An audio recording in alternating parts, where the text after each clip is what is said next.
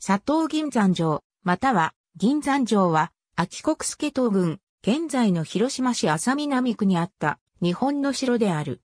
銀山城跡として、広島県指定史跡。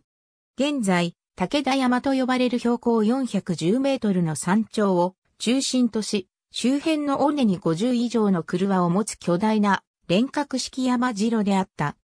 堀切や金星城郭に見られる、増型の原点とも言える巨岩を利用した五門石などの遺構が存在するも、他の山城に見られるほどの築城が行われた形跡は少なく、自然の要害を利用した山城であった。周辺地域には市場や自社を廃し、防衛網を作り上げていた。武田三条高間からの眺望鎌倉時代初期、この地は古い地、今津等の市場や港町として賑わっており、古代山陽道と瀬戸内海に面した秋国の流通、経済の中心地であった。上級3年の上級の乱の後、恩賞として秋国佐藤軍を得た武田氏当主、武田の文光はこの武田山のふもとに守護所を建て、秋国佐藤軍の経営に乗り出した。しかし時代が下り、現行や幕末の政情不安によって戦乱の雰囲気が高まり、昭和元年には桜尾城主平来院への攻撃を受け、佐藤銀山城は落城した。このような状況下、所領の防衛に適した地に城郭を構える必要に迫られ、秋国に下校した武田家当主、武田信州によって、鎌倉時代末期に、現在の武田山頂上域に建てられたとされる。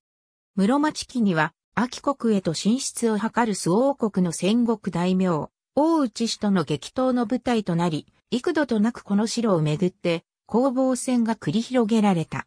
永正14年、山陰の天子氏と結んだ、秋武田氏当主、武田元重は、毛利氏の西隣の吉川氏を攻めた。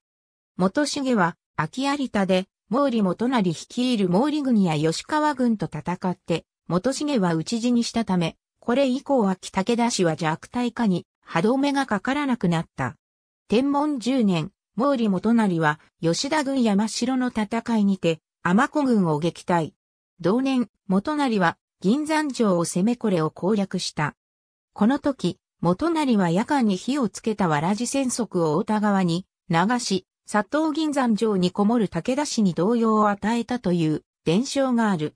銀山城には大内方の常磐として霊勢高豊が置かれた。天文23年、毛利元成は、厳島の戦いの前哨戦として、佐藤銀山城を攻略。大内氏常磐、栗田肥後入道は、説得に応じて即日開城し、城は毛利の支配下に置かれた。以後、銀山城は関ヶ原の戦いまで毛利氏の支配下に置かれた。毛利元成の隠居城として使う予定があったものの、現実にそれが実行されることはなかった。後に広島城が築かれると、その重要性は低下し、毛利氏が関ヶ原の戦い後に違法されると廃城となった。江戸時代以降も城地が荒らされることはなく、現在は周辺地域の住民による保全活動により維持整備され、ハイキングコースとして定着している。